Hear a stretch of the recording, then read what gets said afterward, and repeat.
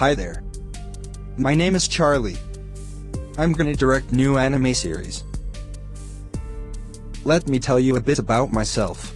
I love watching web series. You do know something. I love donuts, pizza, hamburger, chicken biryani, etc. etc. And shake with mixed whipped cream and dusted with cinnamon. I always love watching movies in theater. Especially sitting in balcony. And this is all about my simple and short introduction. Friends.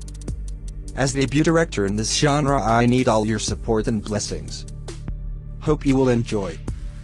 And I will do my best. Thank you.